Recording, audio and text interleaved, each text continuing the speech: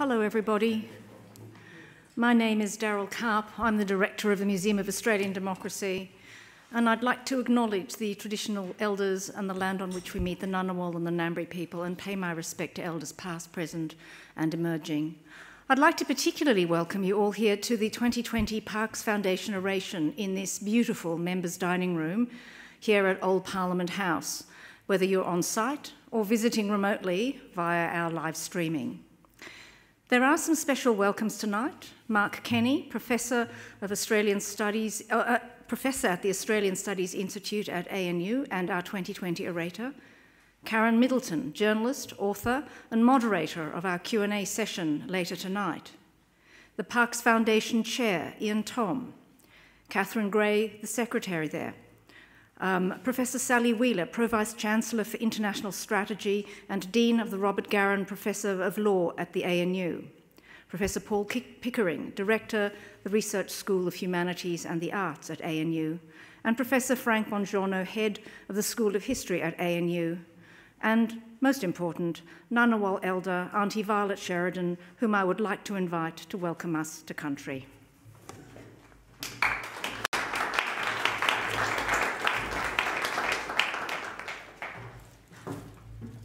Thank you. It's a pleasure to be here. The last time we was about two years ago, so hopefully everything's getting, well, I'm not going to say normal. Hopefully everything can start moving forward again and people can get together and uh, we do the things that we used to do. But hopefully, fingers crossed, we can find a cure for this awful, awful disease that's taken so many lives, particularly in America. Uh, I think it was over 200,000 have died in America. But I, I, better not say it because he's driving me insane. I'm just hoping Joe Biden wins. so, a stubborn, stubborn man who won't listen. um, particularly to the people that know what they're doing, the health experts. So, that's just how I feel. And I'm really, really happy because I'm also a greenie. The, the Greenies have won five seats in the ACT. How wonderful is that?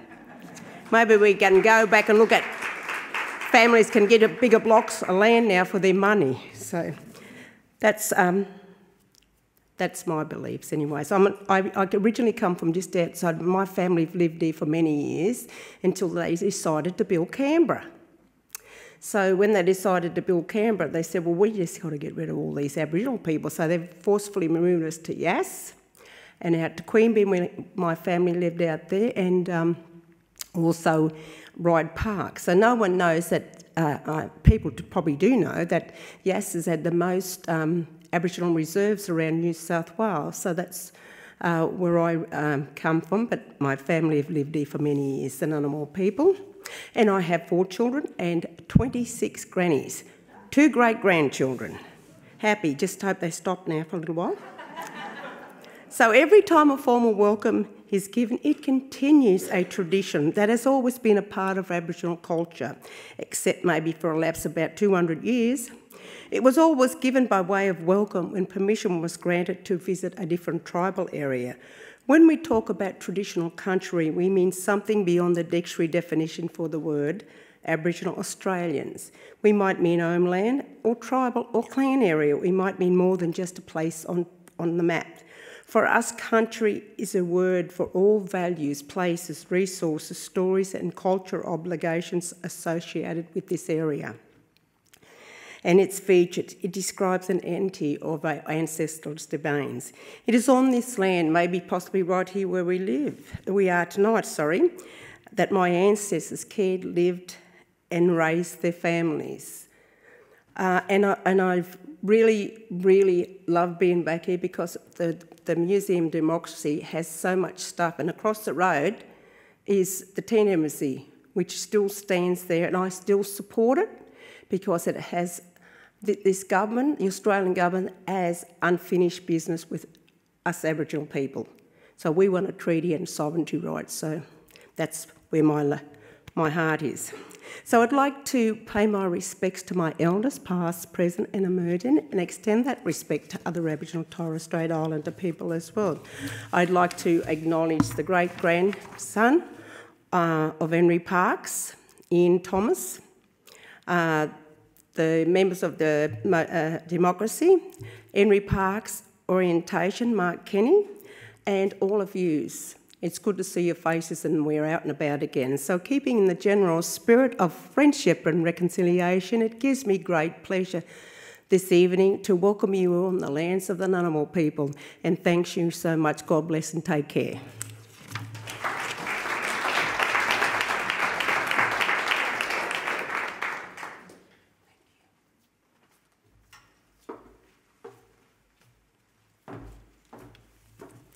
Thank you, Auntie Violet. The Parkes Oration is an annual event focusing on challenging social or political issues facing Australia. This is the third time we've held the event here at MOAD as part of our long-standing partnership with the Parkes Foundation. It's, it happens alternate years, and in the alternate years, it's at Tenterfield. We're privileged to have many of Henry Parkes' descendants, great, great great and great great great grandchildren who are joining us both on site here today or via our live stream. The Henry Parkes Foundation is a great patron of MOAD.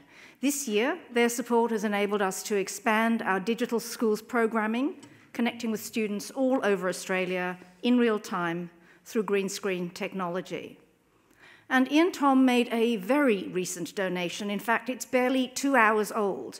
At 4.30 this afternoon, he donated an original copy of The Empire, dated the 9th of April, 1851.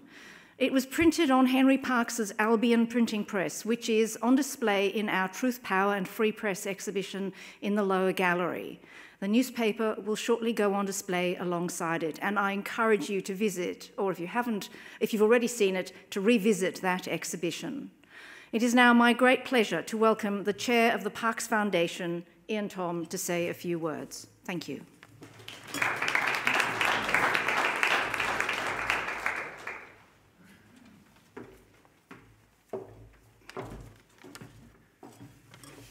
Thanks, Daryl. Uh, we really appreciate being here at MOAD, uh, and it is really great to be back. And I also endorse your, your comments about Auntie Violet's moving and so personal a, a welcome to country. So thank you, Violet. As Daryl has said, this is our third time here, and uh, we're established a terrific relationship with the museum, and it's been getting stronger every year. Daryl, we thank you for the dedicated team, you and your dedicated team, that have, you know, look at it. It's fantastic. Uh, and the ongoing support you've given us is really, really appreciated. And again, thank you for your custodianship of, of Henry's Press down there. Uh, and I do also encourage you to have a look at it. I mean, the digital world, this is a one man operated, two levered press to print a newspaper, uh, all for tuppence. And just by way of housekeeping, on the completion of Mark's oration, our 2016 orator, Karen Middleton, or should I say Dr. Karen Middleton, congratulations on your recent appointment. Uh, Karen will hold a brief interview here with Mark, and then we'll open the floor to Q&A. I, I carry the role as chairman of the Henry Parkes Foundation, but as mentioned, I'm also a proud great-great-grandson of Sir Henry, and I'd like to also welcome all those other descendants here today those watching online, and the members of the Parkes Foundation. The Henry Parkes Foundation was established under a trust deed back in 1999 by a group of those descendants and other like-minded people. And our 2014 orator and our patron, Dame Marie Bashir, sends her greetings for tonight. The Foundation's aim is to carry forward Henry's work maintaining Australia as a just and egalitarian democratic society by encouraging Australians to find out more about their country's political and constitutional history and about how they, as citizens, can participate. Again, our 18th oration, uh, we're a small group and we've been going on an amazing list of distinguished orators that we've had deliver these orations for us, and I encourage you to learn more about these orations at www.parkesfoundation.org.au. Now let's come now to our 2020 Henry Parkes orator, Professor Mark Kenny. Many of you know Mark's distinguished political career, with the ABC, the Adelaide Advertiser, Sydney Morning Herald, The Age, and here at the Canberra Times, and his more recent role in research at ANU's Australian Studies Institute. And like Karen, he has a, a long association with the National Press Club, and that allows him to take a wider view across national uh, politics, the democratic process, all of those things. And of course, you'll often see him on uh, Insiders on the ABC. Now, Mark's career has taken him to amazing places. He's been to the White House, number 10 Downing Street, the Vatican, and here through uh, Democracy 2025 at MOAD, and of course his Democracy Sausage podcast. He's covered meetings at APEC, the G8, NATO, and the climate change at Copenhagen.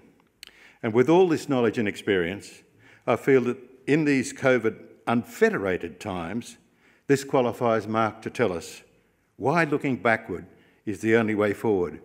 COVID 19, the Federation, and the chance of a genuine reconciliation. Professor Mark Kenny.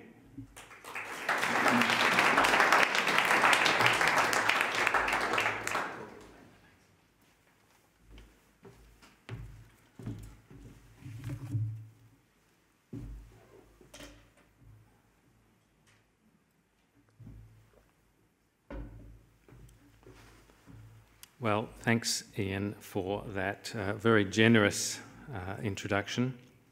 I'll make one small clarification about my political career. I'd prefer to call it a journalistic career.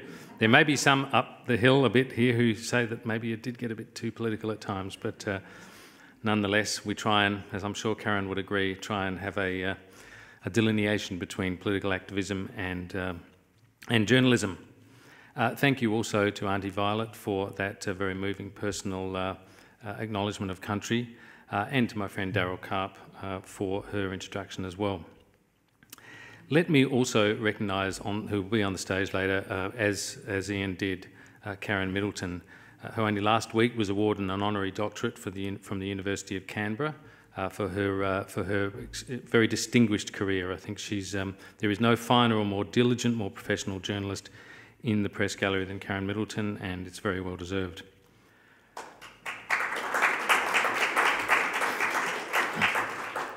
Obviously, I'm hoping she'll go easy on me now in the questions. Thanks also to descendants of Henry Parkes, the Henry Parkes Foundation, its Board of Advisors, Excellencies, ladies and gentlemen. And my gratitude also to my academic colleagues from ANU who have come tonight or who are joining us at a distance and who have been so generous in welcoming me to that great university. Can I also begin by acknowledging the Ngunnawal people, the original custodians of the land on which we meet, and pay my respects to their elders, past, present, and emerging. I regard it as a great honour to be asked to give the 2020 Henry Parkes oration. And it's so lovely to be able to do so in person, a simple human interaction consistent with this building and with the settlement of Canberra, which, after all, is a derivation of the word in Ngunnawal language, essentially meaning meeting place. In the era of COVID, such things as we took entirely for granted have been all the more appreciated for their denial or their scarcity, as the dismal science would have it. At the same time, we've seen merely from watching the news how something as unquantifiable as social capital, a sense of national identity, community, cohesion, and two way trust between the people and government has actually served Australia well, holding it together where other harsher societies have splintered with destructive and deeply discriminatory results. Mind you, being a bit of a wordsmith and also someone who thinks about contingencies, I had wondered about the possibility of us all being forced outside for this oration, oration in which case it might have been billed as on parks, at parks, in park. Henry Parkes, of course, was a nation builder, and I like to think he would agree with me that even with the value of 120 years of federation, the job has stalled, that it's time for a refresh, a refocus, a new enlightened national bargain. And I'm going to argue, as I heard Jimmy Barnes do in, reaction, in relation to his personal catharsis through writing Working Class Boy, his confronting memoir about poverty, endemic alcoholism, and ubiquitous violence in northern Adelaide, where he grew up, that Australia, like Barnes claims to have been, is a nation emotionally blocked, hemmed in by the narrowness and inherent falsity of its own myth. A nation unable to move purposely forward for not being willing to look clearly back. Barnes says he can now feel much more. He can live more freely, more completely for having articulated his violent, dysfunctional origins. Might we not also progress in looking back honestly? Parkes came to the colony of New South Wales in 1838 after concluding that he simply could not make a living in England. He had already been awakened but to the war of uh, sorry to the world of words and the transformative power of ideas in Birmingham, where he'd commenced an apprenticeship as an ivory carver at the ludicrously young age of 10 years old.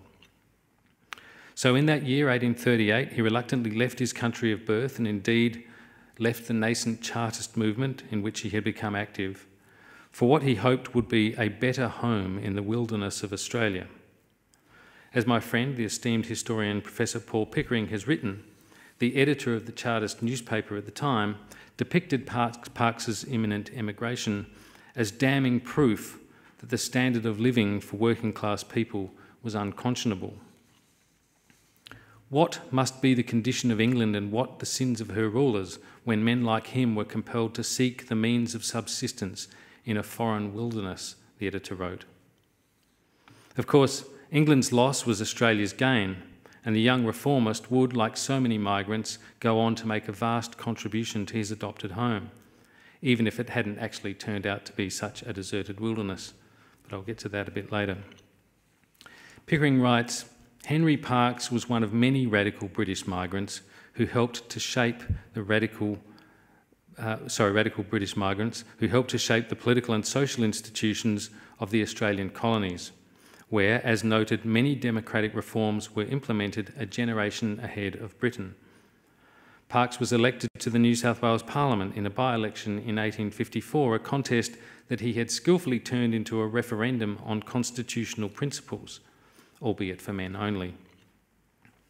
What on earth is there seditious, disloyal, or un English, he asked in his speech at the declaration of the poll, in extending to every man in this country the right to which every British subject is entitled? Progressive as he was, he was inevitably a man of his time. Yet, just as we can use the current rate of change to project population growth or the rate of global warming, we might also credibly assert that were Parkes around today, he'd be a social progressive in today's terms. That is, he would have moved on from what Pickering called his popular constitutionalism to be an enthusiastic Republican. He'd probably favour multiculturalism, marriage equality, gender equality, environmental protection, and reconciliation. We can't know this, but it's a reasonable assumption. His approval of change and modernisation supports this contention, deriving from his view that the glorious revolution of 1688 had marked a splitting of the monarchical chrysalis, a flipping of the power relationship between people and the crown, essentially inverting who had the power, who was sovereign. He called parliamentary and constitutional reform, quote, a marvellous example of the progress of national sentiment. The progress of national sentiment. Mark those words. All parties, he said, are growing wiser both theoretically and practically every year. In these comments, we can see Parkes's understanding of society as a moving thing, as always a work in progress, a fundamentally different proposition from that of conservatives. His role in the unification of Australia's six colonies is well recognised, even though he did not actually make it to Federation himself, dying in 1896. Still, having heard the arguments and witnessed the resistance to federation, the old Parkes would probably not be the least bit surprised to hear that in 2020, Western Australia's border remains firmly closed, that Queensland is at loggerheads with New South Wales, and that states have been determinedly parochial through this crisis. The 21st century version of Parkes, though, might be less impressed on the upside at the creation of the National Cabinet, perhaps wondering why we had stuck so long with internal rigidities that simply haven't served the nation well. And he might ask why it took a health crisis and its, its accompanying uh, recession to jolt our federalist torpor. It's been well documented that voters in Australia have tended to mark up governments and leaders for the generally competent way in which they have risen to the COVID challenge. Decades of declining trust in politicians rebounded, sending some leaders' popularity into the stratosphere. Mark McGowan in the aforementioned WA has been clocked at 90 plus percent, and even Daniel Andrews has only fallen marginally under 50 percent uh, in Victoria. Professor Mark Evans, who works out of this very building, has done much important work on political trust and on models for modernising and revitalising our creaking democratic structures. He and I have collaborated on articles, including one self consciously optimistic piece in May, in which we suggest the current crisis offers the opportunity for democratic renewal. We suggested a national cabinet led process of economic reform linked to a deliberative assembly in each state, with the twin tasks of formulating the priorities for economic recovery and addressing the cracks in our democracy. Special representation would be accorded to Indigenous nations in each assembly. By that stage, that was May, or very, very start of May, COVID had prompted a streamlining of, of officious federal state relations as the emphasis swung to problem solving ahead of the usual politics and positioning. So, what's been made of this blue sky event since? Well, not as much as many people would have you think. And as Peter Hartcher observed on the weekend, the people's pandemic induced suspension of judgment is wearing off.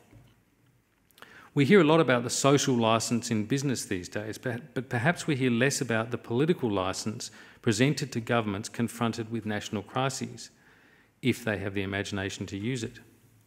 This licence is not merely the authority to do big things, but perhaps the responsibility to consider big changes, to transform the country.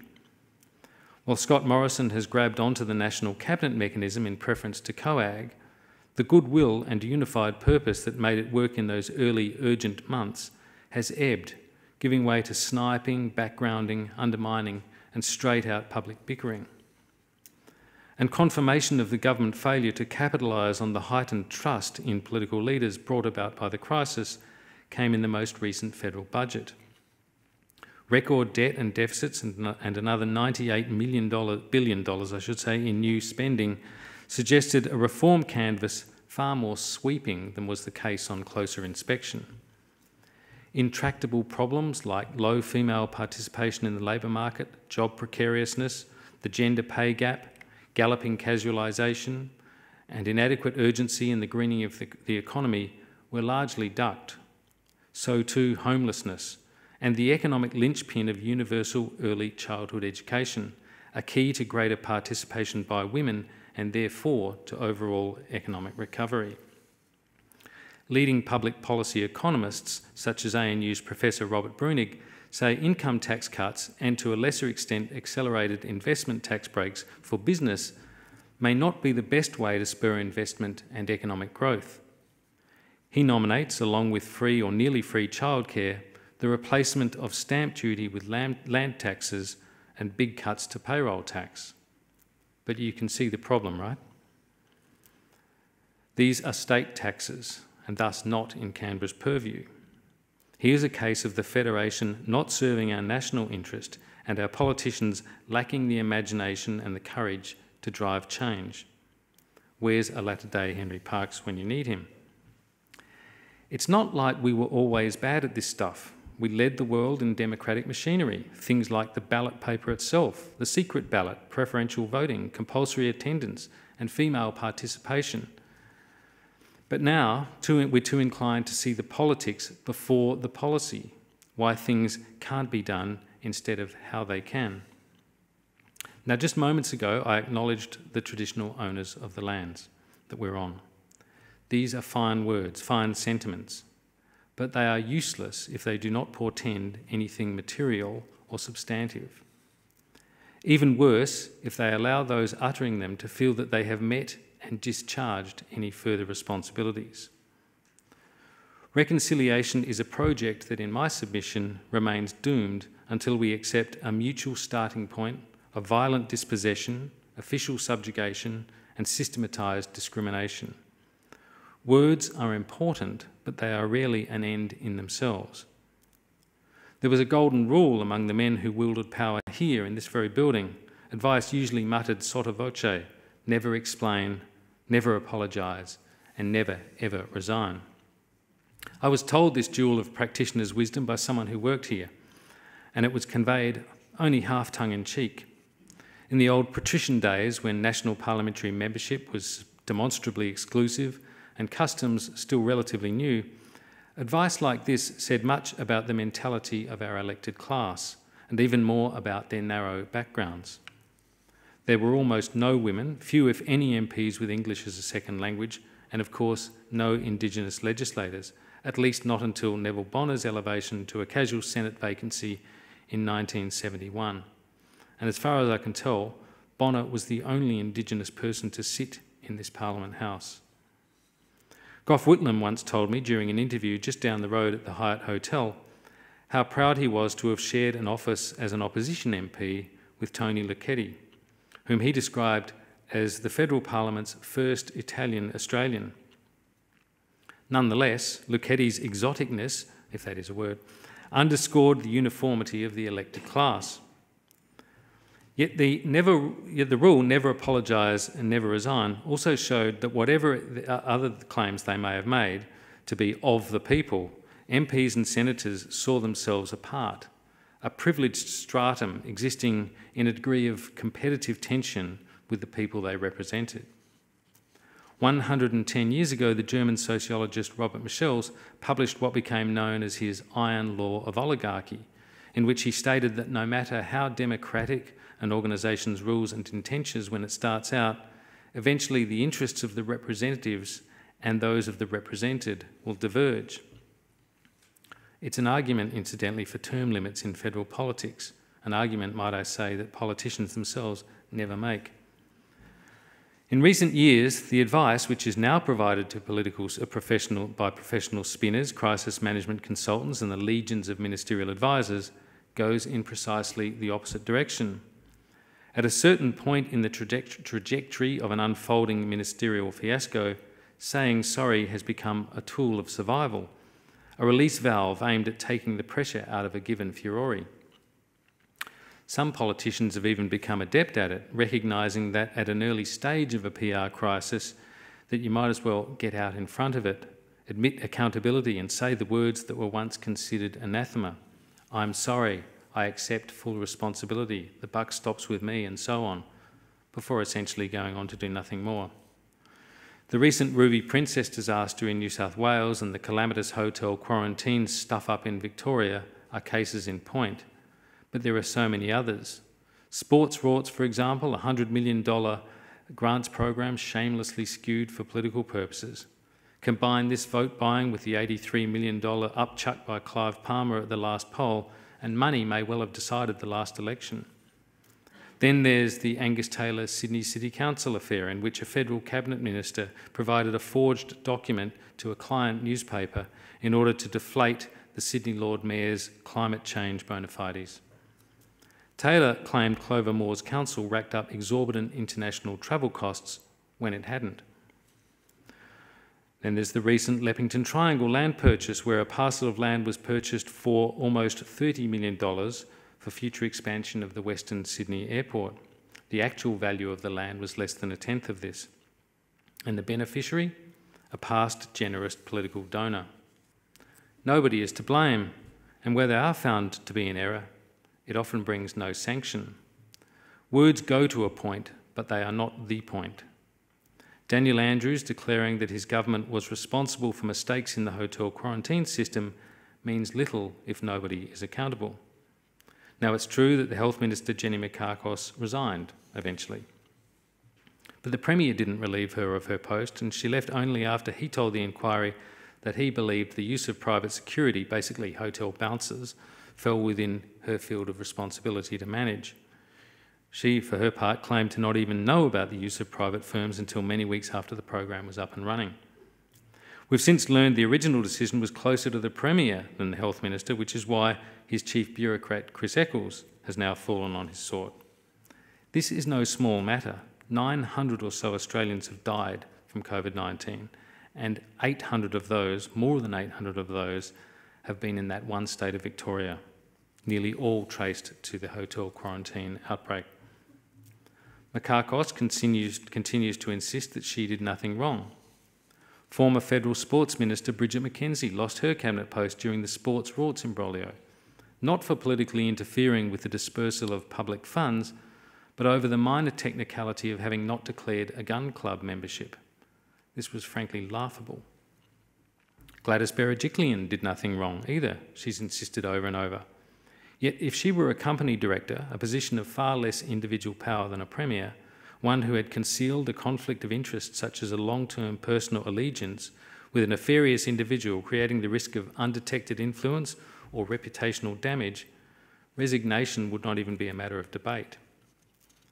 Besides, concealing that relationship, especially given its implications, was an ongoing decision, particularly during, the two years since Daryl Maguire had been forced out of Parliament and declared politically persona non grata. Consider these questions. Would the relationship with a compromised former MP have changed some voters' view of the Premier's integrity had it been declared up front? I say yes. Could the allegiance give rise to fears of undue influence? Again, I say yes. Is this really why it was concealed? And would its earlier exposure have minimised these risked, risks to the public interest? I say very likely. Saying sorry or I stuffed up while incurring no actual cost has become a tactic, part of the standard armoury of defence to be deployed at the moment of maximum effic efficacy.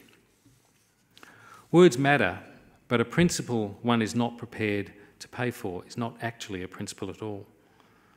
I mentioned this wonderful building before, which has gone from Provisional Parliament House to simply Parliament House when it was in use, and now, of course, Old Parliament House. It is a favourite place of mine and many others in the capital and the broader region, the broader nation indeed.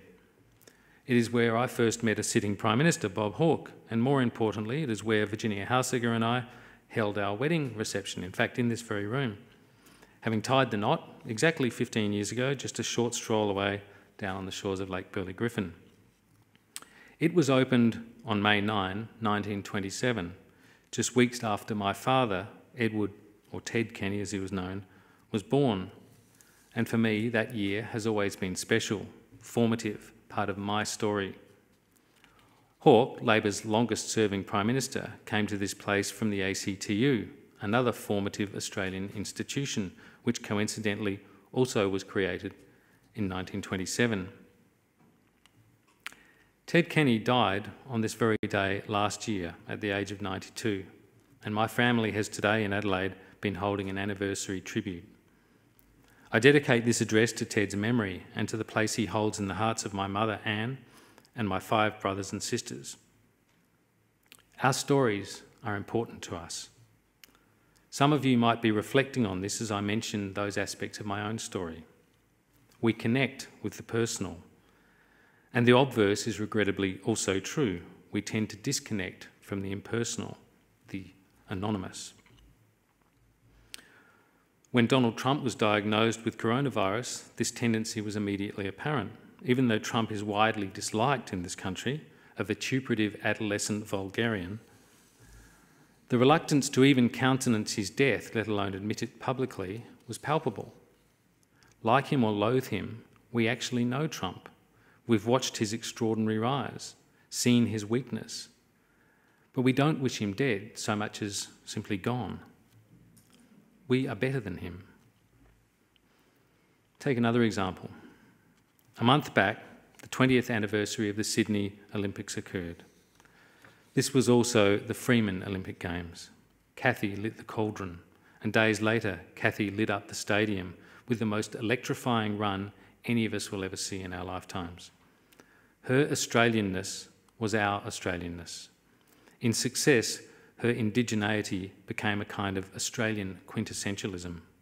She'd overcome the best in the world that night but to get there, she'd first had to overcome us.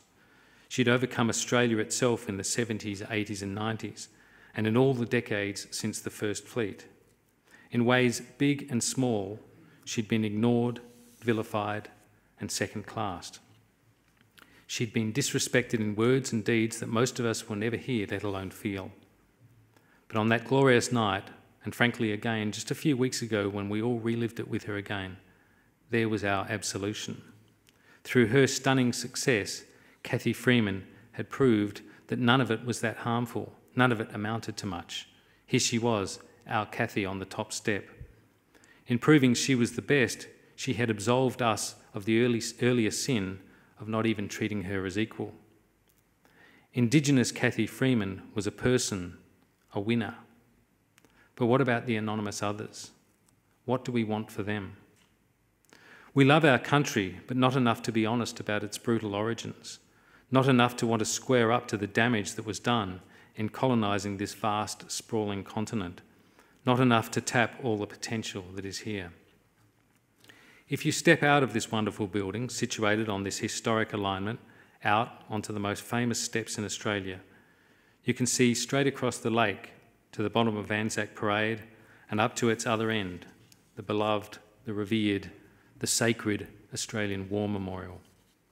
Step out the back of this building, and on precisely the same axis, you gaze up at New Parliament House. The geometry of all of this, so precise, so utterly deliberate and constructed, that I'm told if you could walk that line, you'd pass through the Great Hall and under the giant flag and into the Cabinet Room itself, the nation's innermost sanctum of executive power. From either end of this magnificent axis, atop Mount Ainslie behind the War Memorial, or up on Red Hill behind the Parliament, can be seen the whole institutional story of Australia. But let's go back out on those steps again. Cast your eyes down and closer. And Auntie Violet mentioned this as well. What do you see here? You see something that is also, in its own way, perfect. For amid all this precision planning, the manicured landscaping, and the permanent sharp edged monumentalism, sits the Aboriginal Tent Embassy. Its improvised disorder acting as its own monument to marginalisation, denial, grudging tolerance, and legal ambiguity. Here, in deliberate contradistinction, is an anti monument, asymmetric, informal, ephemeral. Like its legal status, it speaks of what the British Polish social theorist Zygmunt Bauman called permanent temporiness. Where other institutions sit stoic and motionless in a fast moving world so as to remind us of our enduring values, this evokes movement. It reminds us that it is our stone hearts that have stopped, that is, we that are closed and motionless. The Tent Embassy, one of the world's most enduring continuous protest sites, will have been there for 50 years in little more than a year from now. It is a credit to the simple perseverance of a people who, in so many other ways, from their racist treatment in the Constitution to their discrimination, incarceration, and denunciation since white settlement, have just clung on. As my friend Stan Grant observed in his poetic and painful book, Australia Day, when he was born, he was counted among the flora and fauna of this country, not its citizens. And remember, he's younger than me. Grant's generous writings on Australia Day and identity eschew the usual traps of, of simplicity and the accumulation of useless anger, describing this frame of history as the narrative of loss and inheritance robbed, history told from the losing end. This is an age of grievance, and grievance is a demoralising basis for identity, he writes, telling us in the contest for wounds, there can be no winner. Yet, even after mounting a persuasive case for keeping January 26, Grant can't avoid the pain of continued denial, the deep emotional scars, and the visceral yearning for a bilateral healing. He concludes that our Constitution, our founding document, must respect what came before. It must acknowledge the place of First Peoples because it still, and these are his words, carries the illegitimacy and stain of race. I quote him again First Peoples do not have special rights, but inherent rights. It diminishes no one to acknowledge and protect that unique status in keeping with the spirit and limits of our constitutional democracy. Two decades into the 21st century, I feel confident that progressives from the dawn of our federation would be appalled at the lack of any big restorative gesture, the absence of a treaty, the refusal to brook constitutional recognition, including a voice to Parliament, the glacial pace of practical, meaningful reconciliation, the non representation on the national flag, the failure to make financial restitution for past wrongs, including wages robbed, children ripped from families, the disrespect of Indigenous soldiers good enough to fight and die for their country, but not to be recognised as citizens, much less heroes, and of course the shocking cycle of poverty, violence, social dysfunction, conviction, incarceration, and deaths in custody at an alarming level. Tonight, I'd like to propose, by way of an offer to First Peoples, that Australia's national axis be completed, but this time properly and from the ground up. At Water's Edge, unsurprisingly the name of a restaurant located in that exact location, sits Reconciliation Place, just down here on the shore of Lake Burley Griffin. And it's a fine place as far as it goes, but that's not really very far at all. I propose, in full consultation and genuine partnership with the Tent Embassy residents, community elders, First Nations peoples, that the institutional axle point of modern Australia's great story be marked with a truly monumental structure dedicated to and run by Australia's First Peoples. While the final design could be selected from an architectural competition in the spirit of great projects such as Canberra itself and the Sydney Opera House, I'd envisage a vast and probably largely lateral structure rising from beneath the shoreline of Lake Burley Griffin. It could feature exhibits of Indigenous art, including some or all of the collection held by the National Gallery of Australia, Indigenous history, an interpretive centre, conference space, and perhaps even a wharf for receiving international tourists, Australian visitors, and world scholars ferried across the lake. The building would render in permanent architecture the foundational contribution of Indigenous nations to modern Australia, while telling of the original violent dispossession and its long tail of disadvantage. I've previously called for the placement of statues along the lake's foreshore to augment those of Prime Ministers Robert Menzies and nearby the John Curtin Ben Chifley sculpture. Both of these, all of these sculptures are brilliant, but we could do so much more. Along this section could also be situated sculptures of Truganini, Faith Bandler, Vincent Lingiari, and Eddie Mabo. And perhaps further along, we could look at some of the prominent women Dorothy Tangney, Enid Lyons, and now the great Susan Ryan, taken just weeks ago, a trailblazing former senator from this very city. In short, this museum would proclaim a new era of partnership via a grand symbolic gesture in the form of a permanent Water's Edge Museum of Indigenous history, language, art, and importantly, political struggle. But it would also be a celebration of the oldest continuing cultures in the world. Its placement would mark a national recognition that this continent's human story did not begin in Turkey in World War I, or in Canberra in 1927 or in 1988, nor for that matter in Botany Bay in 1788. It began perhaps 60 or 70,000 years before, and it grew, as this building would, from the very country itself, and from a people living in harmony and profound connection with that land. A First Nations memorial, a building at the centre of the nation's sweeping concave arc. From this point, the eye rises up from the nadir at Lake's Edge to the glorious old Parliament, and then onto the new, the shining house on the hill. Aboriginal Australia has waited long enough for this material recognition. Its permanence had been established tens of thousands of years before the rest of us arrived. Yet its centrality in law, in culture, in the received history remains fraught and needlessly contingent. The result is bad for everyone. Australia is a nation emotionally blocked, unable to square up to its past. As Grant says, it's time to narrow our differences and strengthen our bonds.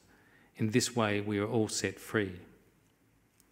Now, I can already hear the argument from naysayers that spending money on a symbolic building misses the point and would be better directed to improving the health and educational outcomes of disadvantaged Indigenous communities.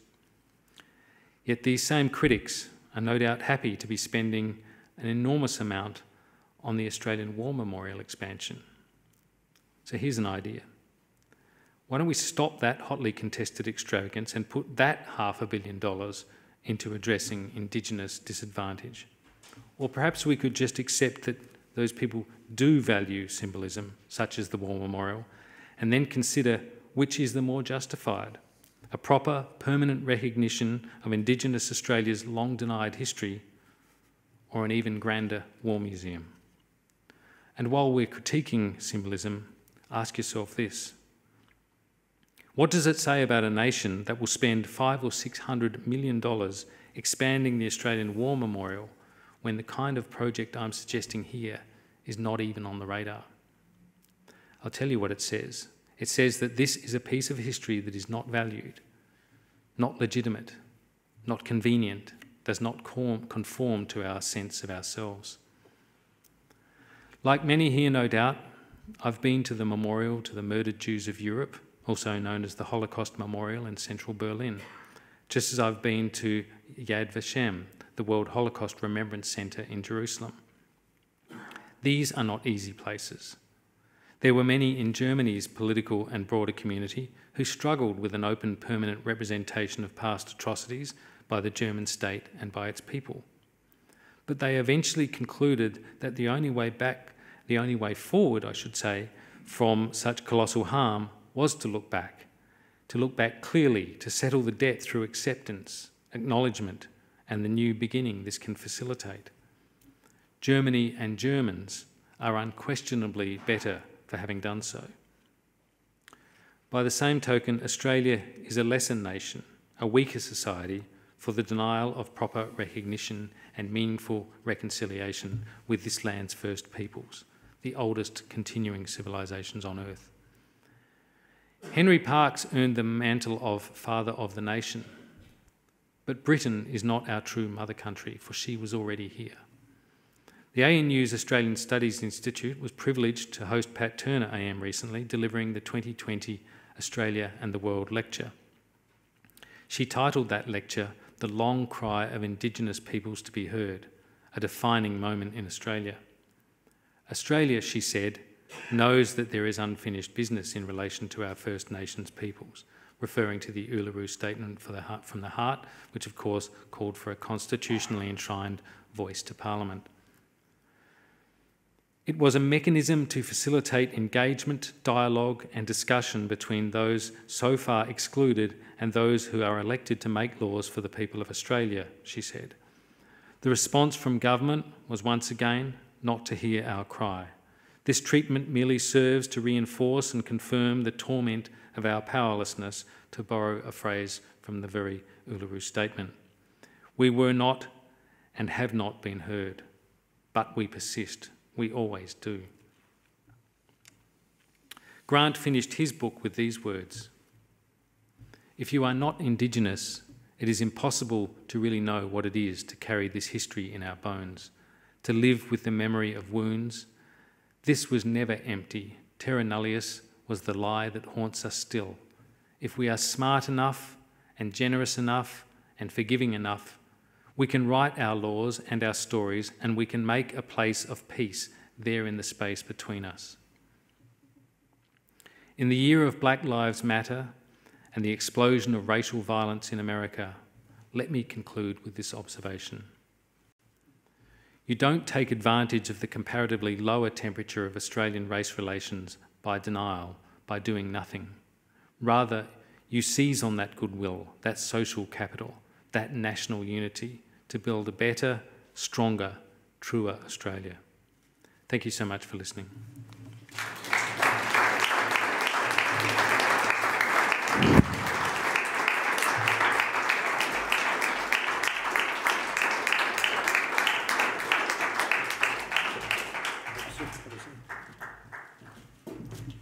Now ask Karen to uh, conduct a short interview with Mark.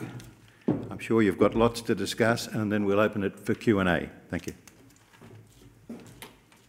Thanks, Ian. Thanks, everyone. I also acknowledge the Ngunnawal people, pay my respects to all of their elders. Just we've just got a few minutes for me to chat with Mark here, and then I'm going to invite questions from you. You may see in COVID times that we've changed things a little bit, so we're not going to pass a microphone around. There are two mics, one on either side of the room here. So what I'll ask you to do, and we'll only have time for two or three depending how long the speeches are that always go with the questions. Um, and I'm guilty of it too. Uh, we'll only have time for two or three, but I'll nominate you, and if you can jump up to one of those mics, we'd be really grateful. Um, thank you, Mark, for a very fascinating and thought provoking address. I would like to start with your idea about this Indigenous monument. It's fascinating to me that in a time of controversy around monuments where there's a movement to pull them down, that you're proposing instead to put a new one up as a big visual statement. And I'm interested in how you would see the relationship between that kind of statement in terms of trying to change attitude and understanding of history and something like, say, our school curriculum uh, that you, you could argue could also be overhauled in terms of our history. And that seems to me dovetails with federation as well, because we still have arguments among the states about how our schools operate and the kinds of curricula that they run. Should there be a standard national curriculum that is more explicit about our history, or do you think we're still very awkward and shy about that? Uh, thanks, Karen. Yeah, look, I do think we're awkward and shy about it, uh, and and you're right to say that this is caught up in the um, in the whole machinery of federation as well, because the idea of national curriculum, curricula is uh, or are, you know extremely uh, fraught business in Australia. Um, you know, the states tend to control those things. Um, but I don't see these these two things as mutually exclusive at all. I mean, what what I'm suggesting here is something that can be that can happen in the capital, in our most sacred place, in a sense. This axis that we sit on at the moment, which I think, and maybe I'm labouring the point, but I think has this deliberate omission in it. And the 50 year existence of the Tent Embassy in this very axis speaks to this. And I think what we need to be saying is no, no, we've had this wrong all this time and we need to fix it. And we're going to fix it in this way. And it's not, it's not the whole argument, it's the beginning of an argument. It's, it's like I say, it's a restorative gesture. It's one that costs, it's one that, like I was saying in the, in the, in the, in the address, principles that you have that don't cost you anything aren't really principles, they're just words. And I think for Australia to acknowledge properly its past, we need we need this place. It's, I, I wouldn't just call it a monument. I would call it. I mean, one of the things. Uh, here's an interesting point. As I was considering this, I thought about Malcolm Turnbull's response to the Uluru Statement from the Heart, which most people would regard as disappointing and particularly very fast. You know, just too quick. Uh, Ref- he, reflexive, almost. Reflexive, yeah. I mean, I think it actually came out on Q and A. In fact, um, certainly the argument that he put publicly about it for the first time came out there. And, you know, he talked about it being, a th- you know, the danger of being a third chamber of parliament, and he talked about the danger of the constitution having within it um, essentially sort of race as a factor. Now, that, that's just, I think that just is a sort of a denial of the reality of Australia's history, of this land's history. And so I think what we need to do is we need to look at a monument like this, which is a, much more active space. The third chamber of parliament question, which was basically bollocks. I mean, it just wasn't. It just didn't stack up at all. Um, but it's it's one of the reasons why I haven't suggested that that is where you would situate that organisation if you were going to have a voice. That might be the best place to put it, but you know I wasn't in the process of, or in the business of trying to sort of, you know, buy in resistance to this idea from the very moment of coming up with it. To anticipate the negative and and operate on that within that framework. You mean? Yeah, yeah. I mean, if you if I mean if you if you're basically saying that what's going to be sitting right at water's edge is an Aboriginal Parliament, then it kind of feeds that narrative of the third chamber thing, which, as I say, was just not not based in fact. Um, and, and was rubbish, but uh, it, it worked in conservative Australia. I also want to ask you about the idea that you posed that saying sorry has become a tactic, and I wonder if you think we have any authenticity left in politics anymore. If it's become so much about public relations and anticipating, and again, it's the same theme, anticipating uh, the negative, trying to win support, that we've lost sight of any kind of authenticity. And if that's the case, how, how do we get that back in our politics so that sorry can be genuine? I mean, we did see, I think, a genuine sorry on, on Indigenous matters back in 2018, but there have been a lot of sorries about various things that are used, and you gave some contemporary examples as, a, as an excuse to kind of cover things up. How, how do you think we, we get back to some sense of authenticity where there is some value and integrity around that word. I guess the trouble with that question is that you're saying how do you fix politics? How do you you know it's a it's a bigger question mm. really than than just that. We what we want is the return of authenticity, but we also want the return of accountability in our politics, and that's actually quite hard. I mean, there are so many spinners now involved in everything. The professionalisation of politics, I think, has been corrosive uh, because there are sort of million ways that that that people who are who, who would have been accountable years ago find ways of not being accountable now. It's almost like we're seeing officials being more accountable than ministers in a in a kind of a um, you know an inversion of the of the Westminster principle principle of ministerial responsibility.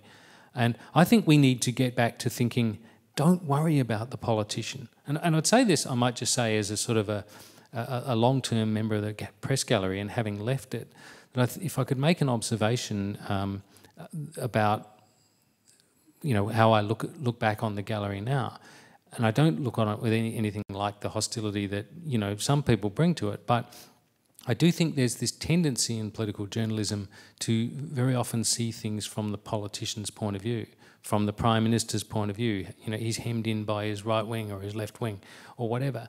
And I think we've got to get away from that and start thinking as ordinary, normal citizens think and think, bugger that, what is in the interests of of the people? What is in the interests of the system? What is in and, and, and often it might be protection of the principle is a bigger thing than protection of an individual minister. So if things go awry, seriously awry, in a minister's portfolio, and the minister can show they didn't know anything about it, well, they should still go.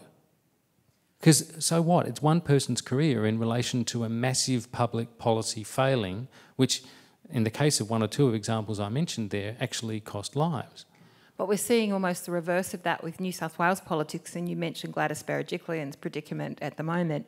We're seeing, if we are to believe the sort of um, zeitgeist around about this, that the public likes Gladys and thinks she's done a good job on COVID 19, so they're prepared to forgive whatever else has gone on because they'd prefer that she stays where she is while we're in the middle of a crisis. So how do we account for that? That's a that's a different kind of assessment of what's in their best interests, and it it doesn't necessarily go to the principle you're talking about about propriety. And it you know it, it also strikes me we get caught up in you know politicians focus deliberately on legality and not on propriety, whereas you know, us old-fashioned types in political journalism believed that we were meant to hold people to account as well. So how do you account for that kind of view? Is the public always right? Are they entitled to say leave her alone because uh, because we needed to stay where she is? Well, that's a very good question. I, I mean, probably in a democracy, at the end of the day, the public is always right. I mean, they, they, they, they determine these things. And I, I, guess if she's in a contested position at the moment and she's got a lot of public support, that will give her considerable succour to stay there. And, uh, and that may be the outcome of this. Um, I, I, think the, the, difficulty with this case is that um, it is, it seems, this whole thing seems so out of character with the presentation of Gladys Berejiklian uh, as a political uh, persona, um, that that um, people are just thinking, oh well, you know, this is a personal matter, and I can understand that personal dimension to it, but I think if you step back from it, you, what you actually have, as I said, you know, if you put it in the realm of like a company director or whatever, they'd be gone. I mean, the reputational damage done to the government alone is huge, and the suggestion, the, the appearance, the risk of there having been undue influence I mean, Labor's saying that she was a sounding board for corruption. That's what they're saying in the, in the parliament. Now, whether that's true or not, I think you know that that's probably hyperbole, but um, but it, it is pretty clear that there was some fairly selective listening going on. And her explanation is, oh well, he's a big big noter, and he you know sort of bores me, and I was kind of you know whatever. Um, I guess that's what the public are, are relating to. You know, I mean, we all know blokes like that. I make no comment. Um, just one final one from me before I hand over to the audience. But you mentioned, I think, early on in your oration about the cracks in our democracy and the things we've seen uh, emerge that sort of show the gaps in federalism here in terms of the, the federal state responsibilities and no one taking the blame, which is a thing that interests me as well. I think you mentioned the Ruby Princess and the quarantine inquiry. This week we've actually seen the New Zealand bubble maybe coming into the same category where, um, you know, oh, we didn't realise everyone would end up in other parts of Australia as well. Nobody's, nobody's to blame. I mean, do you think the things that are being identified as the gaps in responsibility and this, it's not my fault, do you think there's the prospect of genuine change of that as a result of what we're going through with COVID 19? Or is it all just going to pass and we're just going to carry on as we always have with the states doing their thing, the federal government doing their thing, and we have this sort of artifice of national cabinet when we need to all get together. Yeah, I I think it's unlikely that it's going to change in any dramatic way, um, because because essentially what what we're talking about there is how do we um, how do we get that big sort of game changing moment where where the two levels of government decide we need to streamline these things, and if if we haven't seen that moment sort of by this stage of this crisis, I'm not sure that it's going to emerge. Um, the, the, the, aged care debacle in Victoria is another one. Um, you know, and the, the Commonwealth government was happy to glide along for a long time in the sort of haze of all the controversy surrounding the breakdown of hotel quarantine. But in fact, the, the, uh, the, the what, what the calamity in aged care was very much and very clearly a Commonwealth responsibility and it's endemic. It's an endemic problem. So accountability is um, it's it's a very slippery concept now, and as I say, I think professionalisation of politics has made this much harder.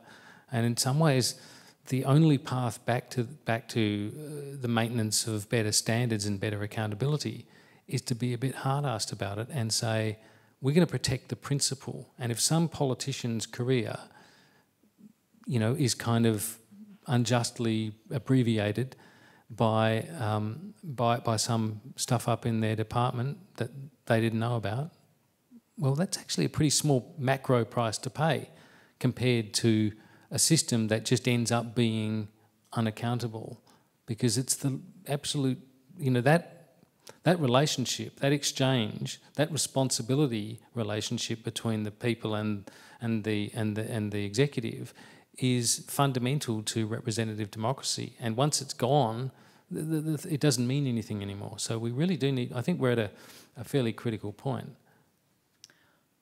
Does anyone have a question for Professor Kenny? Uh, yes, over here. Do you want to jump up to that microphone? Thank you.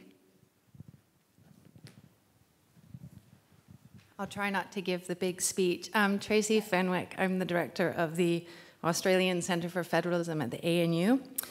Um, I detect a bit of anti federalism in, in you.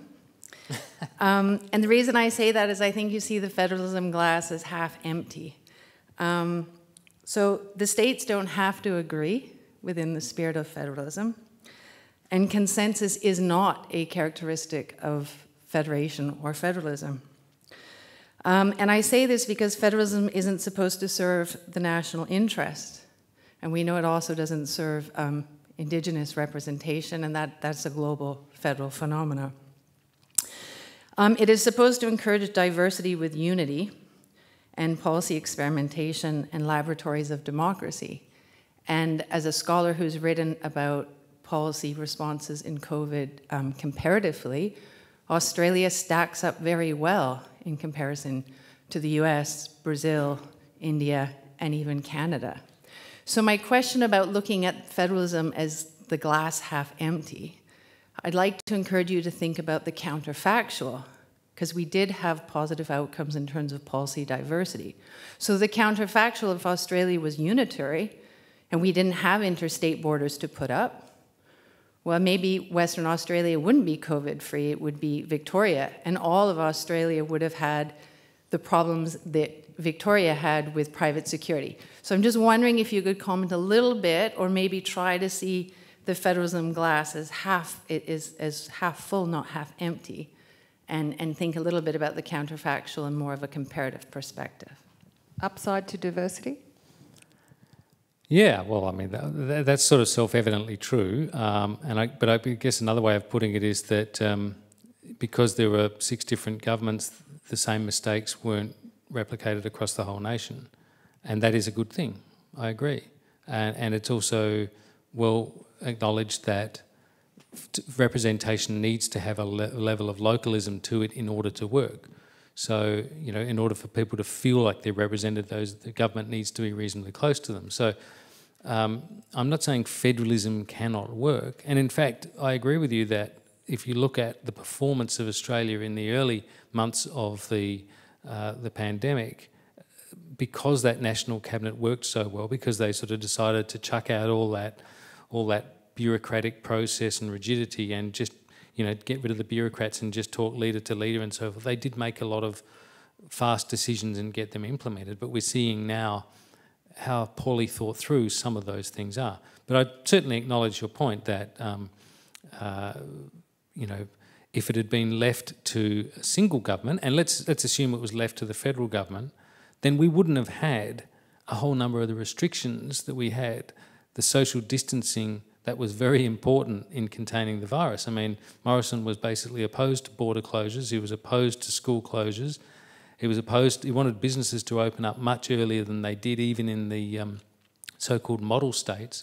Uh, and it'd certainly be opposed to the borders that are, that are closed still now. So you wouldn't have COVID free jurisdictions. So I'd, I'd, concede the point. Uh, none of this is, um, you know, uh, all one way and not the other. Uh, but it doesn't mean that uh, you know, in your opening comments, for example, you, you make the point about the failure to, to, to, move forward on Indigenous recognition and the delivery of, um, you know, you know, meaningful reconciliation. Well, you know, there's a good example. We can squeeze one more quick one in if it's quick, I think. Uh, well, there was one just here. Yes. Yep, thanks. So it seems to me that by any measure, the Constitution is way out of date, obviously in relation to Indigenous people, but a whole lot else besides. I'm wondering if you think it would be possible to initiate a process for radically rewriting the Constitution and perhaps reflect on what Henry Parkes would do. Yes, well, that's a very good question. I don't claim to be a scholar of Henry Parkes, so I, and, and, I'm conscious of the fact that there are a couple in the room. Um, and, uh, and, and who would be much better positioned to, you know, authoritatively answer what he might do. But it's a really interesting point about the idea of modernising the constitution and perhaps even doing so essentially from the ground up, you know, literally starting the whole process again. And I have, have heard, and in fact there may be some work going on at ANU along this uh, along these lines. I have heard of uh, some talk of of actually doing this, of of looking at a process um, that would no doubt take years and be highly contested and need to go through a number of different stages and iterations, but which would look at um, at rewriting the Australian Constitution.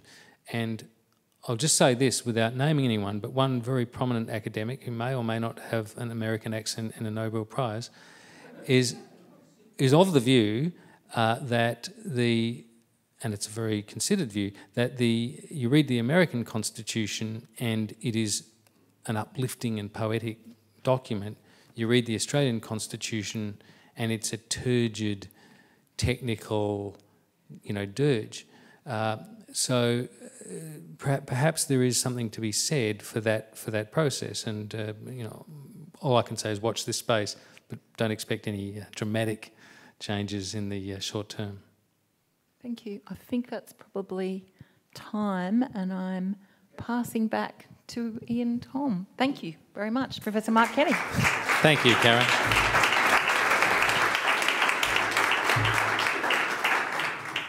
Thank you, Karen, for conducting that for us. And Mark, thank you. Uh, uh, inspirational and broad oration. You've given us plenty of things to talk about. And uh, I think if old Henry was around, he'd still say, We have work to do. um, just by way of interest, um, when Henry wrote The Empire, his first editorial he wrote, he entitled it Colonial Radicalism, Our Own Creed. And part of this, he reads, Our duty as a radical journalist is to make the voice of complaint in such case loud and general till the cause be removed.